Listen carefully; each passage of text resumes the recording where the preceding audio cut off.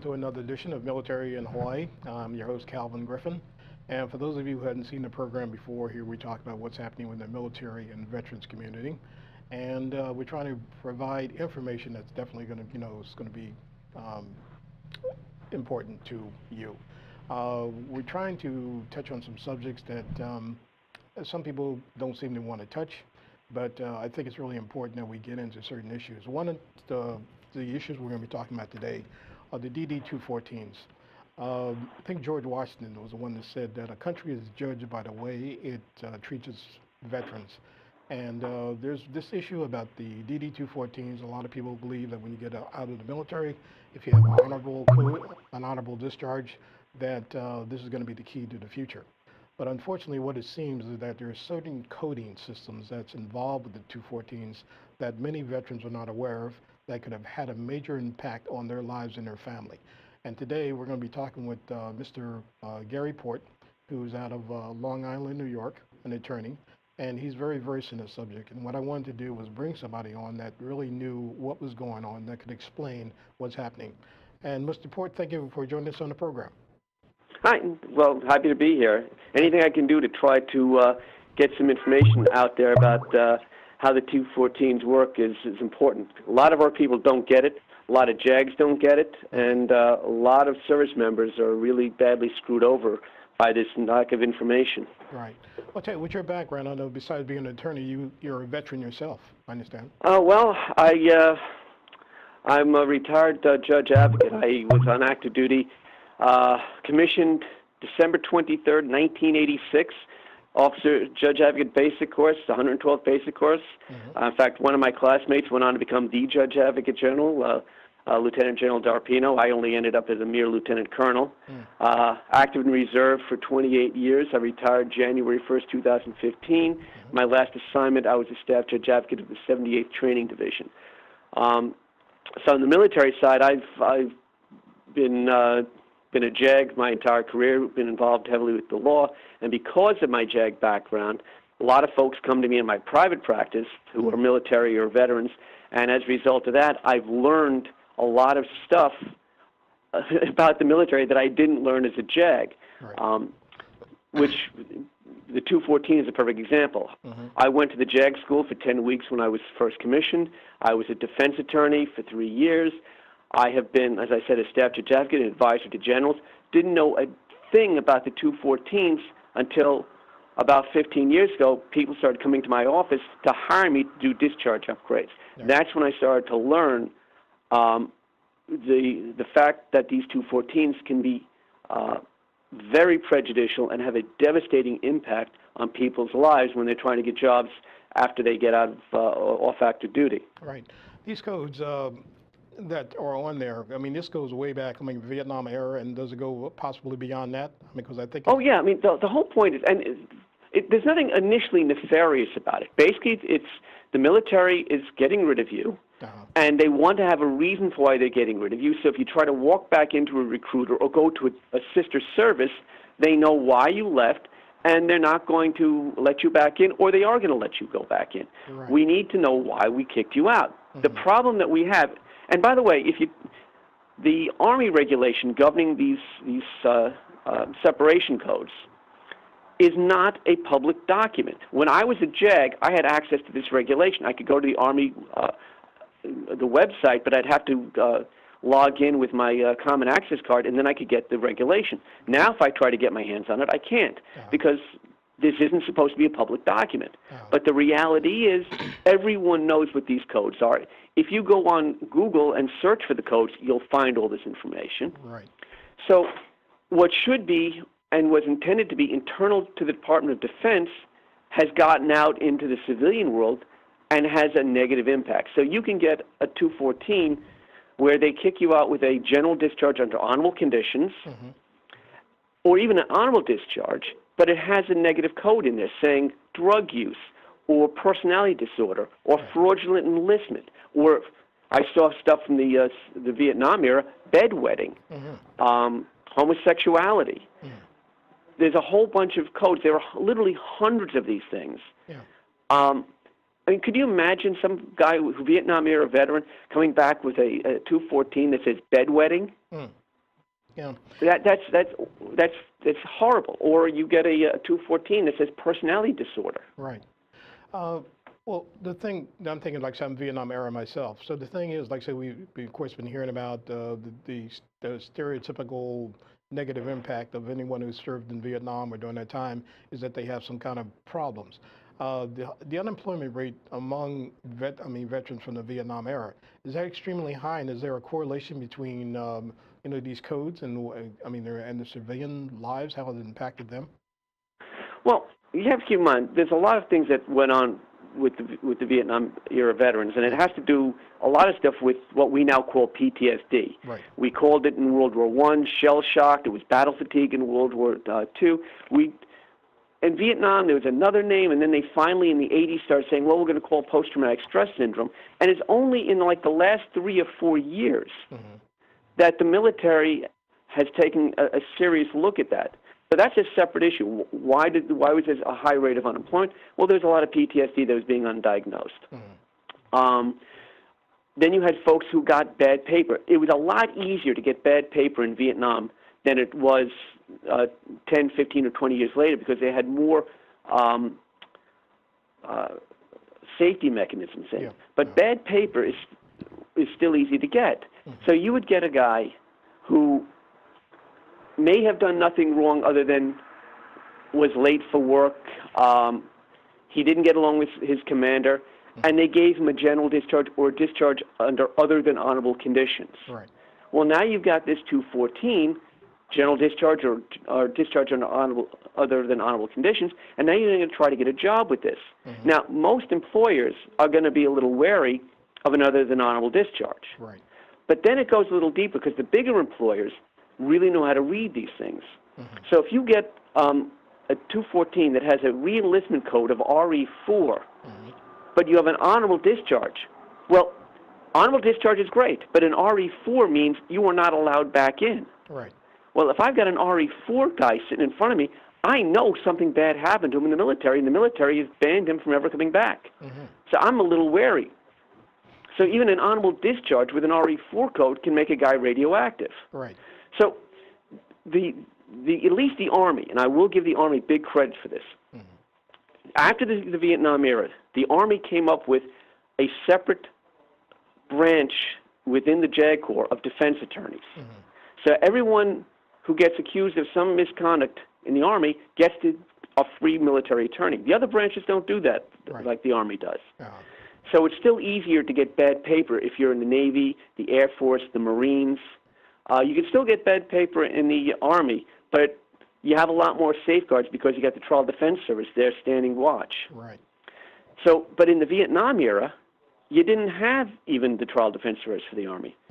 And even now, even now, we see situations where Marines, sailors, uh, airmen, and even to some extent the Army, guys are being told, look, if you sign this piece of paper, we'll get you out within two weeks. If you don't sign it, you're going to be around for a long time. You could end up going to jail. Just sign here and go. Right. And we get guys signing and getting other than honorable discharges when they would have never gotten it uh, if they had gone through the, the right process.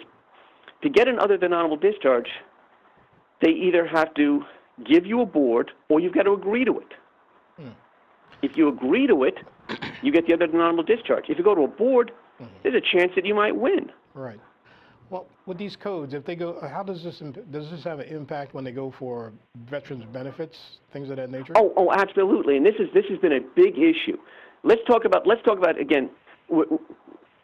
If if you have an other than honorable discharge, and let's let's go back to that one because and mm-hmm. maybe I should take a step back and because even veterans don't really understand all the di- discharges out there because there's many different layers here. You've got it, the administrative discharges. Mm-hmm. That's the honorable discharge, the general discharge under honorable conditions, and the other than honorable discharge. Those are the administrative ones. Right. There's one other one hanging out there called the entry level separation. Mm-hmm. That's for folks who don't make it through basic. Mm. Then you've got the punitive discharges. You've got the bad conduct discharge, and you've got the dishonorable. You can only get those if you go to a court martial, get convicted, and the court martial sentences sentences you to either a bad conduct discharge or a dishonorable discharge. Right. So those are the levels of discharge. Now, on your DD 214, it states your level of discharge, it states the narrative, the reason for the discharge. Mhm. It has a separation code, which is a three-letter uh, code, and it's got a, uh, a numerical code. Right. Now you put all those pieces together, and it's going to have some devastating impact. The other than honorable discharge, in and of itself, bars you from any uh, vet- veterans benefits. Now we have a brand new uh, secretary of the um, VA who has said, "Oh, we're going to make sure that folks who have PTSD and TBI are not denied veterans benefits even if they get an OTH." Right. That's already in the regulation, but it's not being followed. Because here's how that works. If you have an OTH, you now have to go to the VA and prove that your service was not dishonorable. Right. Well, if you got kicked out for drug use, they're going to say your service was dishonorable. Mhm. But if your drug use, which by the way is going to be on your 214, Mhm. you know, it may say drug use. So now you got an OTH, drug use. And that's what your spin code is saying. Right. But you've got a purple heart, and the reason that you were doing drugs is you have PTSD and traumatic brain injury. Mhm. They didn't treat you. Mhm. You end up self-medicating with with Yeah. uh, marijuana or cocaine or ecstasy. Mhm. Now you've got an OTH and a, a, a, a, um, a, narrative of drug use, and you're going to be denied, denied treatment at the VA for the PTSD and the TBI. Right. And by the way, I'm not making this one up. This is an actual case that I did with my. Uh, I, I teach a, uh, a law clinic the Hofstra Law School Mhm. where we provide free legal benefits to veterans who have these problems. And we had a Marine. First week he was in Iraq, he was blown up by an IED, traumatic brain injury, punctured eardrum. Right. He was diagnosed with TBI, traumatic brain injury, and the PTSD. Mhm. They send him back to duty within a week. Yeah. He spends the rest of his tour there. At the end of his tour, there's only four people left alive in his squad. Yeah. Only four. He's one of them. He gets sent back to the States, again diagnosed with PTSD and TBI. Mhm. They give him no treatment. He then goes out with some senior NCOs who are also suffering from PTSD. Right. They all party. He pops out on a, on a urine test, and the Marine Corps kicks him out with an OTH. Now they don't, they tell him sign here and go, and we'll get you right out. Yeah. So he doesn't go for a board. He signs for an OTH. So here we've got a guy with we've got Purple Heart, PTSD, TBI, and no veterans benefits. Yeah. We took that to the uh, Navy Marine Board of Correctional Military Records, Mhm. and wonder of wonders, they did give him an upgrade to an honorable discharge. Right. But rather than put down what I wanted, which was expiration term of service, they basically put down, you know, at the discretion of the board. There was a special language that they put on there. Right. So his 214 says honorable. He gets the benefits of the VA. But someone who knows how to read a 214 is going to look at that and say, oh, he got this upgraded by the board. Something must have happened. Yeah. You know, so know. e- even then, they had to give him that little dig at the, uh, at the end. Right. Yeah. Okay. Uh, uh, Gary, we want to take a short break, uh, but then Okay. we'll come back and continue and continue the conversation. But you're here on military in uh, military in Hawaii, and um, yeah, tune, stay tuned. We'll be right back.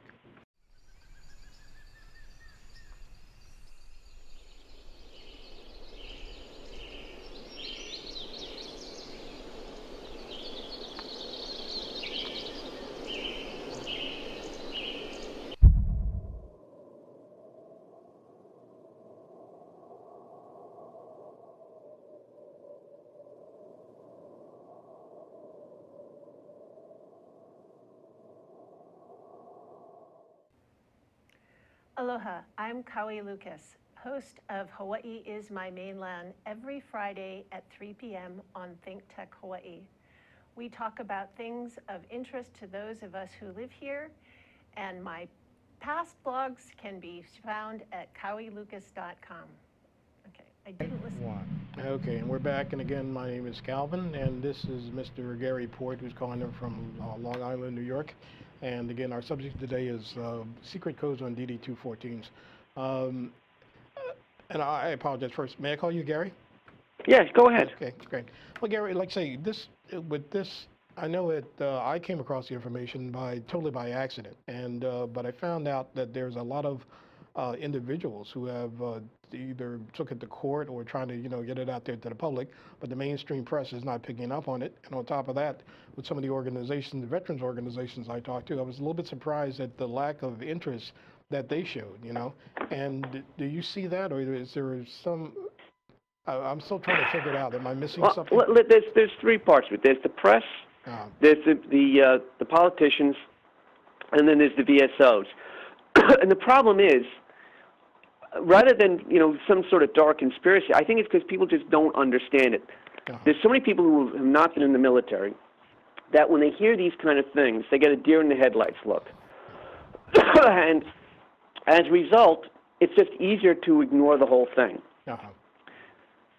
But I think, to me, it seemed like, okay, if the veterans are being shortchanged because they're being bounced out or, you know, discharged and they're not getting any benefits, then this comes back to have an impact on the local communities because if they're not getting help in any other way, then isn't this sort of a drain on some of the resources that's out in the civilian side?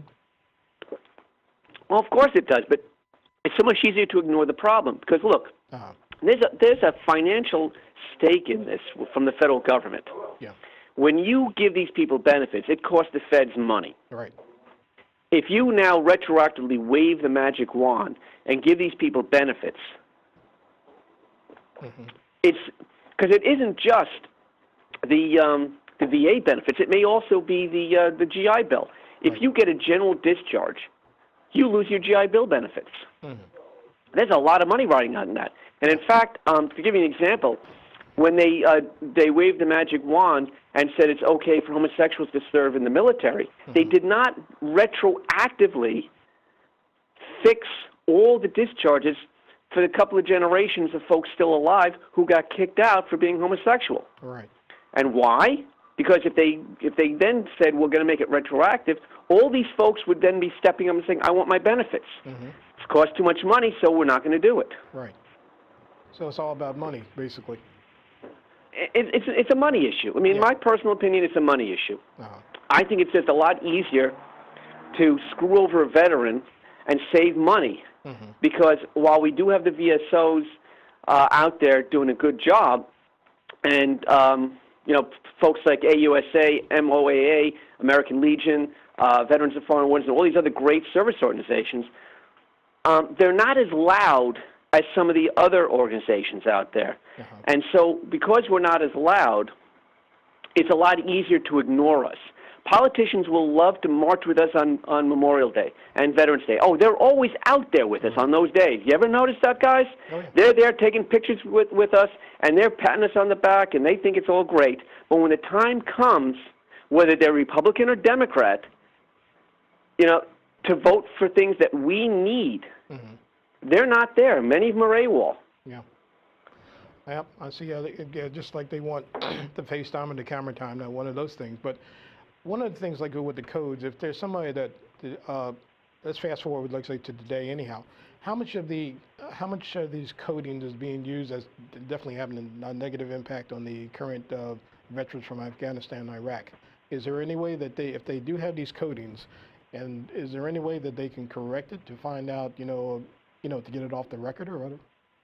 Well, well, first off, you're asking, is, has anyone done any sort of study on this? And the answer is no. Uh, You and I are just sort of spitballing on this based on what we've heard anecdotally. yeah. I am a, I'm, I'm part of um, a listserv with a bunch of other law professors who run clinics throughout the country. Great folks at William and Mary set this up. And what I find fascinating is how much information is not out there. Very bright uh, law professors and practitioners like myself are asking questions which are very basic and none of us know the answer on because no one's got the information out there. Yeah. And this is a great question. What impact do these codes have on people's ability to get um, uh, get employed? Yeah. I, mean, I- just saw recently a really great paper just on the OTHs, which uh, was just published in a uh, law journal, and all of us on the list listserv are like, "Wow, you know." Uh, uh, Professor Karin, Marcy Karin from um, uh, uh, the uh, she's professor at law and the Jack and Lovell uh, Olender Director for Legislative uh, Clinic at the University of the District of Columbia. She just put out a great piece in the Case Western uh, Law Review uh, talking about other than honorable discrimination. And this is the first piece that I have ever seen. And she's trying to pull together all these numbers talking about how just the OTHs have created a massive problem with, with employment discrimination. Really? Oh, And this is like the first piece I've ever seen. This is a great piece. uh-huh. So no one is doing the work out there. We're, we're, we're, we're, there's no studies, there's no governmental studies. We're pulling information from public sources, trying to get this information and mm. trying to understand what's going on with all these veterans' issues. Yeah. It, it's, it's, you know, there are so many other problems out there that seems to have all wonderful studies on, but this, this issue on what these discharges do and how their impact is upon our veterans mm-hmm. seems to be ignored because no one either cares about it Yeah. or they're just so flummoxed by the whole concept that they're afraid to look into it. Yeah. Uh, what, well, with, of course, with this issue, this goes the whole gamut. Uh, uh, excuse me, enlisted personnel, officers. Um, this covers everybody as far as anybody who served in the military, right? Has an, could have an impact. Well, well, well. I'll, I'll tell you. I'll tell you something. My my son, who's uh, serving in Korea right now, told me a couple of lieutenants missed curfew. Uh-huh. Okay, Mhm. And because one was drunk and the other one was trying to, you know, didn't want to leave him alone to miss curfew. They they kicked both these two kids. All right, the second lieutenant, so they're probably all of 23 or 24 years old. Right. They just got the boot because of missing curfew. Mm-hmm. And you're right. It's going officers too. So they're going to get a 214 that's going to have some really negative stuff on it about. And what did what was it that happened? A 23 year old kid who's in Korea missed curfew because he went out drinking, and the other buddy stayed with him so that uh, he wouldn't be left alone. Yeah. And now you're going to have a bad 214 over that. Yeah. I don't know. I, I talked to a lot of uh, the veterans over here and active duty people, and it seemed like with the different uh, syndromes that they come up with, uh, I think earlier you mentioned about the immature personality development, uh, all kind of things. You know, like say, it seems no matter where you go, it's like a minefield where if you just look the wrong way, there goes your career, you know, and there goes your benefits. and, and it could be you, you just meet up with the wrong person. Um, you know, it, it's very easy if the wrong people are in your chain of command because at the end of the day, there is no standard. Yeah, there's regulations, but there's no standard. I'll, I'll give you an example. I had a situation where, when I was in SJA, we had a, a senior NCO go off on a, on a lieutenant colonel. Now, when it came to my desk as the JAG, I could have just said, "Fine, you know what? We're, we're going to process the uh, the NCO for for elimination because he was disrespectful to a, senior officer." Right. But something didn't sit right with me, so I sent him to mental hygiene, and turned out that he had, P, he had PTSD. Uh-huh. So we sent him off for for mental treatment because I had a good general who listened to me, and I didn't feel it was right just to automatically screw over a senior NCO. But you you don't get that all the time Right. so you get a situation where you have people who don't want to deal with the personnel issues. I've got too much to deal with. I've got the mission to deal with. I've got to deal with my personnel issues. I got to make sure that everyone's MOSQ. I got to make sure all this stuff's happening. And you, Sarge, you're part of my problem right now. I don't have time to deal with you. I don't care that you have a problem with your wife. I don't care that you're a combat veteran. I'm making you go away because you're an interference to my mission. Yeah. I know. I think it's, it's a major ripple effect because I see we see the reflection in what in suicides, not only with the active duty, Exactly. also like I say, veterans. That's another issue. And I went to so about. many briefings back in the uh, during the war. You know, where I would, as the JAG, I would go to all these briefings, and they would talk about we've just went over to the Pentagon, and we had all this stuff. And in fact, when you have a suicide, I was involved in two suicide investigations. Uh-huh. That gets briefed to the vice chief of of of, of the uh, of the um, I'm forgetting the uh, the title now, but um, I was in the reserves, and I, I my boss had to brief OCAR, the Office of the uh, Commander of the Army Reserves, who then had to brief above. So I'm communicating with the SJA of the car to make sure that when they brief up at the Pentagon, because everyone gets all torqued up on the suicide. But you're right; it starts down at that that company level. Right. Okay. So you're telling the company commander, you've got to make sure that you're doing soldier care, but we also have to make sure that you're doing the mission and make sure that everyone is qualified and you're able to uh, go off to the sandbox. So you got this poor captain who's now stressed between going off here and taking care of Snuffy, who's not up to speed. Well, I'm going to get rid of Snuffy because he's keeping me- me back on my mission. Mm-hmm. Then Snuffy commits suicide because no one took care of him. All right. Yeah. Yeah, something you mentioned about uh, mentioned earlier about you know like over medication because some of the things with they're not being treated seems like they're being pushed out there. You know, multiple tours and everything else, and it's like a catch twenty two. If you go for help, whatever it is, then they find a way of saying, okay, well you're not mission ready, so therefore we're going to get rid of you. If you've been in a position in the military where you've been in, for example, 10, 13 years, whatever, and you have the opposite. I mean, you have the you're facing the possibility of being discharged for whatever reason, and or either if you have a family and you need to take care of them, you know, you're just going to go ahead, like saying, take the medication and uh, hope for the best, you know, and Well, you, you're right. You, you suck it up and you move on. yeah, you know, I the- over here, like I say personally, I like say I've talked to a number of troops, and a lot of them are. Uh, one guy in particular, I'll, I'll be real brief about with this. Uh, he had mentioned like he'd been there, got the uh, went through everything else, and it came back, and uh, he was having so many problems with his wife, family, everything else. And he told me like uh, one time we talked, it was like. Um, I'm, I volunteered to go back over, but I know I'm not coming back. And I said, well, we got a premonition or whatever. And it was like, no. He says, well, I came back, you know, and I'm going through all these issues, and I'm not getting the help I need, you know. So if I go back, at least I can choose the time I dem- my, my demise, where when it, it when my time comes, at least my family's going to get insurance. They're going to be taken care of. I'll be viewed as, you know, uh, doing a service to my country, something like that. You know, never seen the gentleman again, anyhow. But that's just one, you know, one of the stories that I'm personally familiar with, you know, where the lack of support, you know, when you have people out there that they feel that they have nobody that's looking out for them, you know, and they feel like you're backed into a corner. What are you going to do, you know? And again, Well, and exactly, and there is no real. I mean, sure, the military gives a lot of lip service to this, but at the end of the day, you put too much pressure on the command to say you've got to get the mission done. So the commander now has the choice Yeah. of taking care of the mission or taking care of the service member. Yeah. Well, he's looking at his officer evaluation report. He's looking at what his lieutenant colonel is telling him or what his colonel is telling him. He's going to take the mission first. It's the tone is set by the senior officers down to the junior officers. And if the senior officers are saying mission, mission, mission, then the junior officer is saying mission, mission, mission. Yeah, they're losing the point. You, Gary, we're getting down to the wire anyhow. Like I say, this, there's so much more that we can talk about this, and I hope we can do a follow-up program because I really believe, and I, I, I know your sincerity about uh, making sure this issue was addressed. But uh, I think we got about two minutes left. But is there anything that any high points that you want to touch on before we uh, end the, the interview? Well, the, there's just so much on it. And I think that the thing that we really need to do is one, we as veterans really need to make sure that we hold the feet to the fire to uh, the politicians. And Okay. uh, look, I'm a Democrat, but uh, that doesn't mean anything when it comes to the veterans issues. Right. Democrats and Republicans equally will cross the aisle and, in a bipartisan method, screw the veterans every time. Yeah. Okay? It is not a Democrat or Republican issue.